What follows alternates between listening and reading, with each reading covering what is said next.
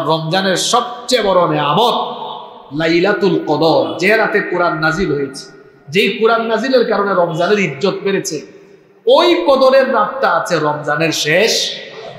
শেষ? ওই রাত যেন ছুটে না যায়। এজন্য নবীজি শেষ দশক এবাদতে কাটাতেন, কারণ ওই রাত বছরের শ্রেষ্ঠ। সারা জীবনের শ্রেষ্ঠ রাত এটা। এজন্য নবীজি ওই রাতকে মিস করতেন না। এই রাত যেন ছুটে না যায়। ওই রাতের আলাদা বিশেষ সাতটি বৈশিষ্ট্য রয়েছে। কয়টা বৈশিষ্ট্য? নাম্বার ওয়ান এক নাম্বার হলো ওই রাতে আল্লাহ কোরআন নাজিল করেছেন, ইন্না আনজালনাহু ফি লাইলাতিল কদর। নিশ্চয়ই আমি কদরের রাতে কোরআন নাজিল করেছি। যেই রাত তালাশের জন্য নবীজি শেষ দশকে ইবাদত করেছেন, সেই রাতের এক নাম্বার বৈশিষ্ট্য হলো এটা হলো কোরআন নাজিলের রাত। দুই নম্বর হলো ওই রাতটা এমন মর্যাদার রাত। আল্লাহ বলেছেন, লাইলাতুল কদরি খায়রুম মিন আলফি শাহর। হাজার মাসের চাইতেও উত্তম এই কদরের রাত। কোন কোন মুফাসসিরের ব্যাখ্যায় লিখেছেন, অর্থাৎ একটা না এক হাজার মাস ইবাদত করলে, বন্দেগি করলে যে পরিমাণ নেকি পাওয়া যায়, এই কদরের রাত তালাশ করতে গিয়ে যদি কারও কদরের রাত নসিব হয়ে যায়, ওই রাতের এবাদত বন্দেগি এক হাজার মাস, অর্থাৎ তিরাশি বছর, চার মাসের বন্দেগির সমান হয়ে যাবে। তিরাশি বছর আপনি হায়াতও না পাইতে পারেন। একটা রাত তালাশ করতে গিয়ে যদি ওইটা লেগে যায়, পেয়ে যান। তো তিরাশি বছর, চার মাস, এক টানা নেক আমল করলে যে স্বভাব পাবেন, ওই রাতের আমলে আল্লাহ আপনাকে সম পরিমাণ স্বভাব দান করবেন। সুবাহান কদরের রাতের তিন নম্বর বৈশিষ্ট্য হলো, এই রাতটা হলো বরকতময় রাত।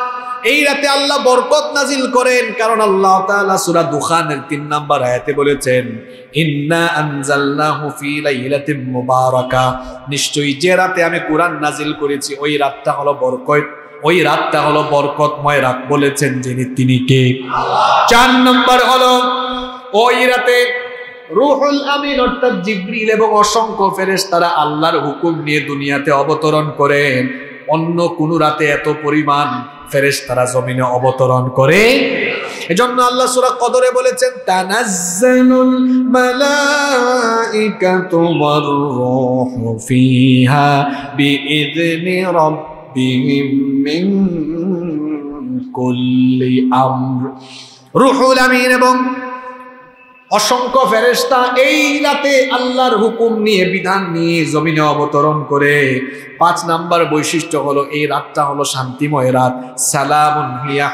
মাতলাইল ফজর। ফজর পর্যন্ত এই রাতটা হলো শান্তিময় রাত। ছয় নম্বর বৈশিষ্ট্য হলো, এটা হলো ভাগ্য রজনীর রাত। ভাগ্যের ভাঙা গোড়া এই রাতে চলে। আল্লাহ সুরা দোকানে বলেছেন কুল্লু আমরিন হাকিম। এই রাতে প্রত্যেক প্রজ্ঞাপূর্ণ বিষয়ের চূড়ান্ত ফয়সালা যিনি করেন, তিনি কি? সাত নাম্বার হলো, এই রাত এমন মর্যাদার রাত, এই রাত তালাশ করতে গিয়ে কেউ যদি এই রাতটা পেয়ে যায়, আর ওই রাতে যদি না ঘুমায়া ইবাদত করে করে কাটাইয়া দেয়, যুবক ভাইয়েরা শোনো অসংখ্য গুণা করেছ গুণা করতে করতে নিজের নফসটাকে কলুষিত করে ফেলেছ। গুণা করতে করতে গুনাহের পাহাড় তৈরি করে ফেলেছ। রমজানের শেষের দশটা দিন তোমার জন্য এসেছে, নবীজি বলেছেন, মান কমা লাইলাতাল কদরি ঈমানান ওয়া ইহতিসাবান গফির লাহু মা তাকদ্দামা মিন যামবি যে ব্যক্তি লাইলাতুল কদরে ঈমান আর ইহতিসাবের সাথে ইবাদত করে করে রাতের বেলায় ইবাদত করে করে কাটায়া দেয়। আল্লাহ তাআলা তার ওই রাতের ইবাদতের কারণে পূর্বের সমস্ত গুণাগুলোকে মাফ করে দিবে। গুণা থেকে পবিত্র হওয়ার সময় এসেছে। এই রাতে আল্লাহ মাফ করে দেন। এটা ক্ষমার রাত, মুক্তির রাত, নাজাতের রাত। আল্লাহ আকবার। ওই রাত আমাদের বাংলাদেশে আমরা ফিক্সড করে ফেলেছি। এটা সাতাইশতম রাত। এটা সাতাইশতম? আমরা নবীজির চেয়ে বেশি বুঝছি। তো এই রাত আমরা ফিক্সড করে ফেলেছি। আর নবীজি ওই রাত পাওয়ার জন্য শেষের দশ দিন কি করেছেন? এবাদত করেছেন। ঘুমাইতেনি না যে লাইলাতুল কদর আমার থেকে যেন ছুটে না যায়। নবীজি বলেছেন, মান কানা মুলতামিসাহা ফালইয়ালতামিসহা ফিল যে ব্যক্তি এই রাত তালাশ করতে চায়, সে যেন রমজানের শেষের দশ দিনে তা খুঁজে। কোন রাত লাইলাতুল কদর? এটা নিয়ে অসংখ্য হাদিস আছে, অসংখ্য মত আছে। এই মতগুলোর মধ্যে একটা মত হলো, এটা সাতাইশতম রাতও হতে পারে, কিন্তু এটা ফিক্সড নয়। কারণ নবীজি বলেছেন, তাহাররাউ লাইলাতুল কদরি ফিল উইত্রি মিনাল আশরিল আওয়াখিরি মির রমাদান। নবীজি বলেছেন, তোমরা রমজানের শেষের দশকের বেজুর রাতগুলোতে লাইলাতুল কদর তালাশ করো। এটা একুশতম রাতেও হতে পারে, তেইশতম রাতেও হতে পারে।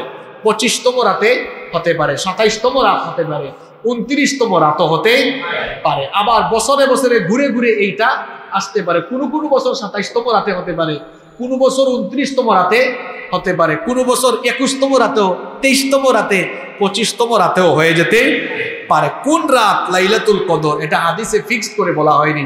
তবে লাইলাতুল কদরের কিছু আলামতের কথা হাদিসে বলা হয়েছে। যেমন কিছু হাদিসে এসেছে, যেটি লাইলাতুল কদর হবে, ওই রাত গভীর অন্ধকারে ছেয়ে যাবে না। ওই রাতের আবহাওয়া হবে নাতিশীতোষ্ণ না গরম, না ঠান্ডা। এবং ওই রাতে ইবাদত গুজারিরা ইবাদত করে, তারা মনের মধ্যে আনন্দ বা তৃপ্তি লাভ করবে। একটা প্রশান্তির বাতাস ওই রাতে প্রবাহিত হবে। তারপরে ওই রাতে বৃষ্টি ও বর্ষণ হতে পারে। তারপরে কোনো ইমানদার ব্যক্তিকে আল্লাহ স্বপ্নের মাধ্যমে এটা জানাইয়াও দিতে পারেন। আবার ওই রাতে যখন সকালবেলা, ভোরবেলায় সূর্যোদয় হবে, আলোক রশি সহ সূর্যোদয় হবে, এগুলো হচ্ছে আলামতের কথা বিভিন্ন হাদিসে বলা হয়েছে। তো লাইলাতুল কদর কোন রাত? এটা কিন্তু ফিক্সড করে বলা হয় নাই। নবীজি বলেছেন, এক হাদিস এসেছে, বুখারি এবং মুসলিম শরীফ, এটা আবু সাঈদ আল খুদ্রি রাদিয়াল্লাহু আনহু বর্ণনা করেছেন। তিনি বলছেন, নবীজি আমাদেরকে বললেন, ইন্নি উরিতু লাইলাতাল কদর।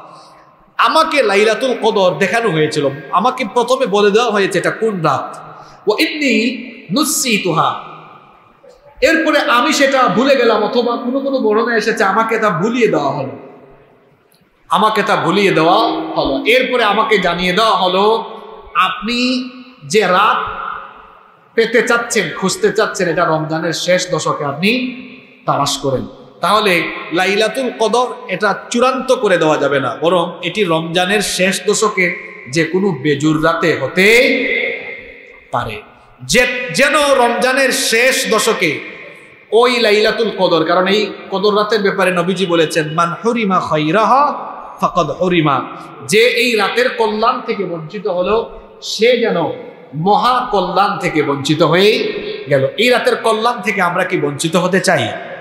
আসতে বলবেন না, জোরে বলেন, আমরা কি বঞ্চিত হতে চাই? এই জন্য নবীজি শেষের দশ দিন কাজে লাগিয়েছেন।